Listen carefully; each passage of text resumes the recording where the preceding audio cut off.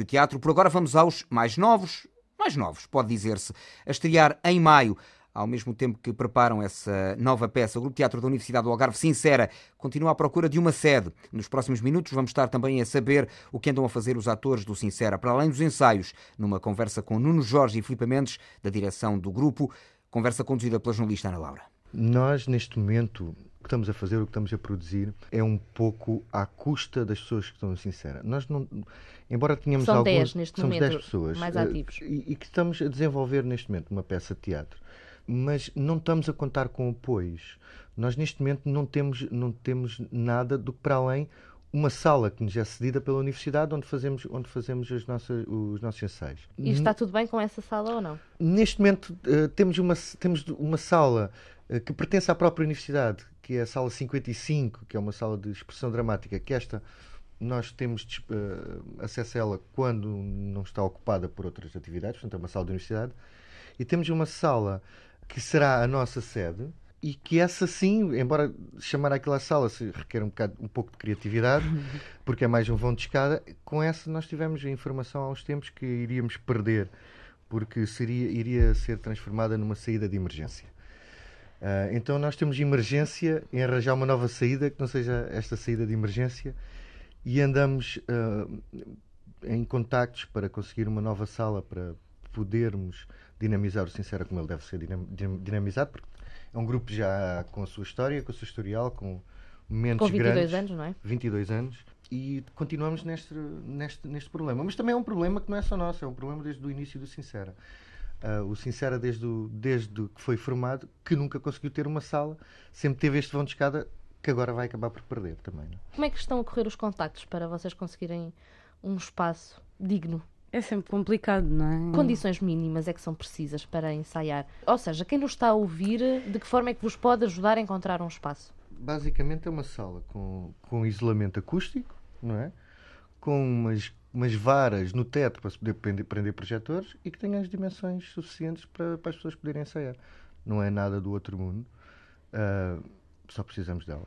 Mas precisavam de uma sala que vos fosse cedida gratuitamente. Pois, de outra forma, não teríamos condições de, de Tendo em conta aquilo que tanto o Nuno como a Filipa foram dizendo, que é, eh, vocês, eh, o grupo está a sobreviver um bocadinho graças à boa, à boa vontade Sim. de cada um dos dez elementos. Sim. Nós, como órgão da Associação Académica do Algarve, e tendo a Associação Académica do Algarve espaços eh, que poderão ser cedidos, parece-nos a nós que faz sentido que seja por esse o caminho pelo qual eh, tínhamos eh, a possibilidade de obter um novo espaço. Ainda existe uma outra ligação, que é a própria universidade. E a universidade também tem espaços que podem ser utilizados. De uma destas duas formas, parece-nos a nós que será encontrada a solução. Vamos deixar esta parte um bocadinho mais uh, triste uhum. e vamos para aquilo que vocês estão a ensaiar atualmente. O que é que estão a preparar para apresentar? Nós estamos numa nova produção agora, que é uma criação coletiva Uh, somos todos uh, encenadores, somos todos atores, somos todos. Uh, tratamos dos figurinos, tratamos dos cenários e é assim uma coisa. E os textos são vossos também? Sim.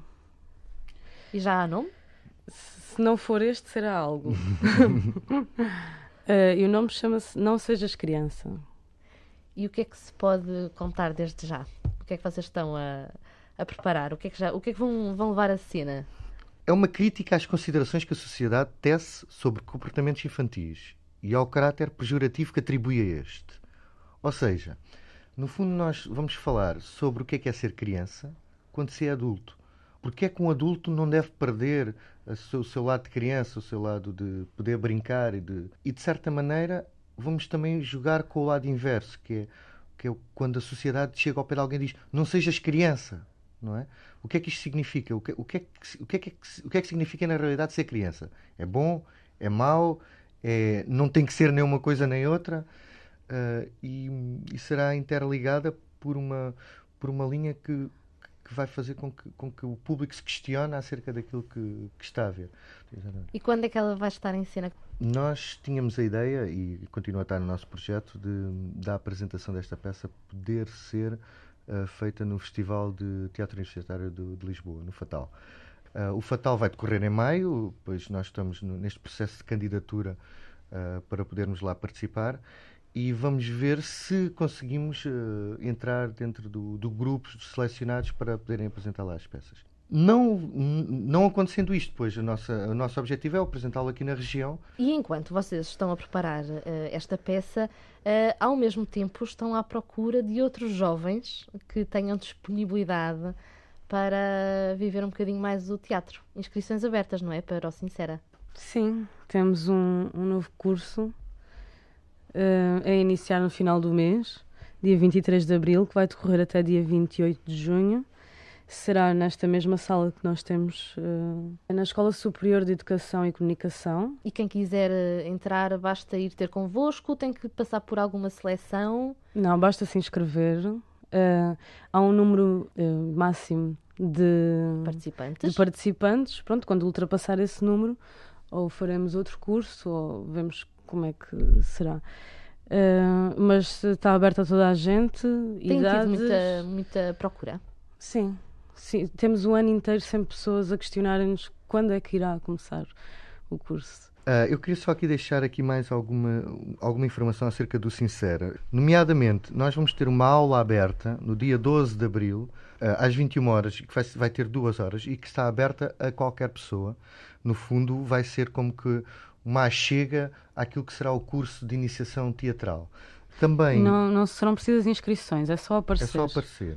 E para estas informações estarem sempre atualizadas, para quem nos queira seguir e, e saber quando é que abrem as inscrições e todos estes, estes, estes projetos, pois eh, é basta seguirem-nos pelo Facebook, uh, que hoje em dia talvez seja a maneira mais fácil de, de, se comunicar com, com quem queira saber. Terminando a nossa conversa com o Filipe Mendes e com o Nuno Jorge, que mensagem é que gostariam de deixar neste Dia Mundial do Teatro? Hoje, por exemplo, nós temos em Faro duas peças a decorrer, não é? Temos a Uh, Paris, uma praia do Havaí, do, do Movimented, e temos a estreia O Cavalo Manco Não Trota, da ATA, no, no, no LEDs, e que as pessoas uh, aproveitem para, para sair de casa irem ver teatro. É, talvez, talvez a melhor mensagem que se pode dizer é que vão ver teatro. Também há, penso que em Portimão, uma estreia do, da peça do, do João Lagarto, no Tempo, a oferta está aí, existe. É só as pessoas irem, irem procurá-lo. Nuno Jorge, Filipe Mendes, a direção do Sincero Grupo Teatro da Universidade do Algarve, entrevistados pela jornalista Ana Laura neste Dia Mundial do Teatro.